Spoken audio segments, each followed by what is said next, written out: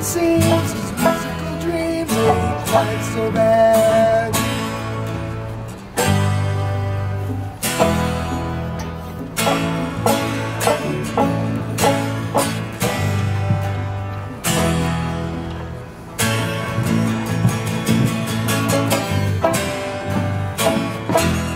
Thank